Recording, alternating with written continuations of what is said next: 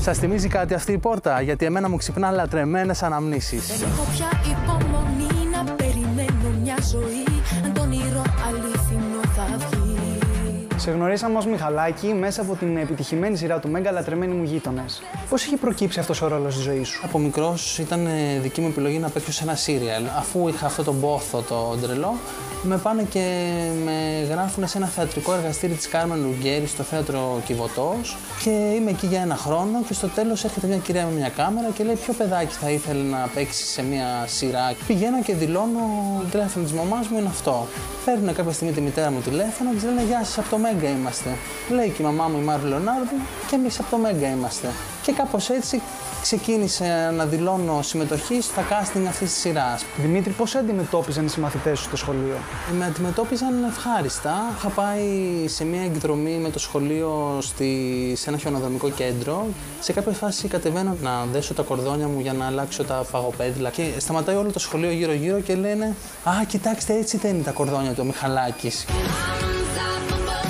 Από τότε έχεις ξανασχοληθεί με την υποκριτική; Δεν μου έγινε κάποια πρόταση να πω. Κάτι σημαίνει αυτό. Παρ' όλα αυτά πήγα σε μια δραματική σχολή, προσπάθησα μια φορά.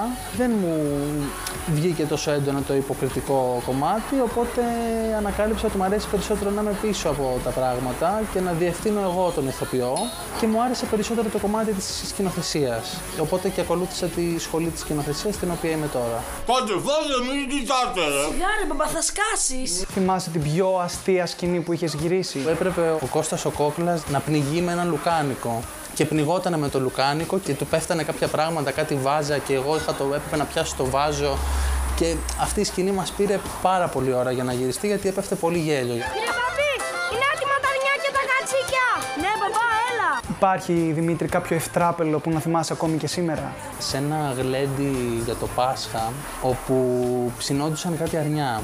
Και εγώ με έναν άλλον ηθοποιό δεν το ξέραμε ότι θέλουν να τραβήξουν τα αρνιά και λένε ας πάμε να πάρουμε μια πετσούλα, ξέρω εγώ, να φάμε. Παίρναμε μία, παίρναμε δύο, παίρναμε τρεις, κάποια στιγμή είχαν φύγει οι πέτσες Οπότε έρχονται τα παιδιά της παραγωγής και λένε πώς θα τα τραβήξουμε τώρα αυτά στο πλάνο; Και αρχίζουν και τα ενώνουν με σειραπτικό.